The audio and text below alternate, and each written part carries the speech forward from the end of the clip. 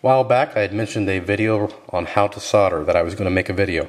Um, well, today's a perfect day. I have uh, had the time to do videos. It's just we're not used to having this much snow in our area, so I've been kind of lazy. So um, today we'll do that. I'm just using a it's a Tenma digital soldering gun or iron, whatever you want to call it. Um, digital readout. You can adjust your um, temperature via the knob there. It's got Celsius and Fahrenheit just a basic unit. Um, I think those sell for about 100 bucks, maybe a little more, a little less. But this procedure is the same for, for any gun. So first thing I like to do and that you should do is you want to tin up. See that's uh, how well you can actually see that. But you want to tin up your, your tip. So get a little solder on there. Now normally you probably have a sponge here.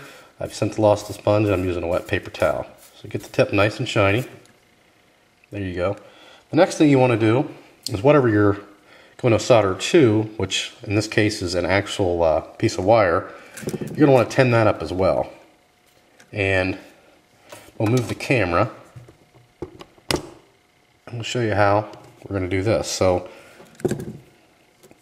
what I like to do is, uh, and the proper way to tin this up is actually heat up the material first, but I'm kind of limited with my uh, hand movement here.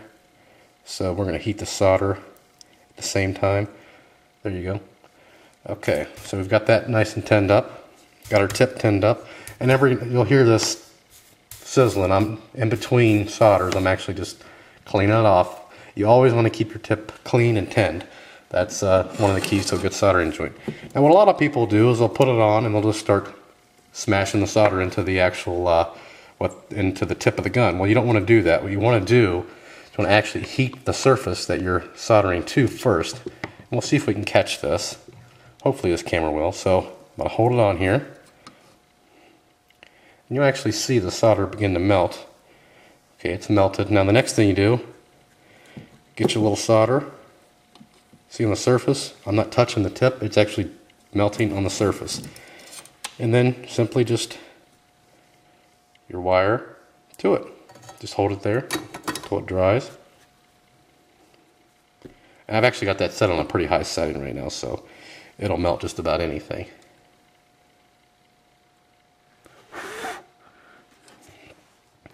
There you go. Good solid connection that's not coming off. Shiny, not dry. Now, or dull. You have a dull looking solder joint, then you've got a cold solder. You don't want a cold solder. So that's just one basic way to solder. Um, this is a rosin core solder.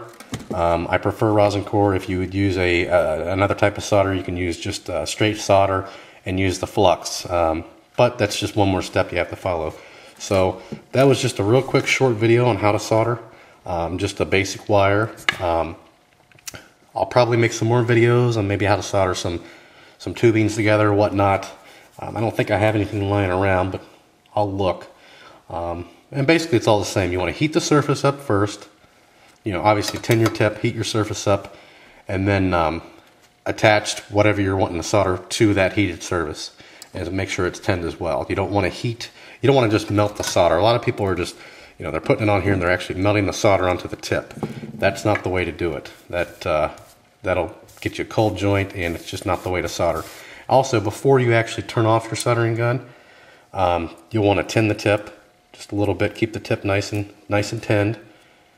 This has got a lot of dirt on it actually. It's been out in the garage. And then turn it off. Next time you use it, it'll be nice and clean. So that's about it. Uh, please feel free to post any questions, comments, and uh, rate and subscribe. And as always, thanks for watching and uh, have a good day.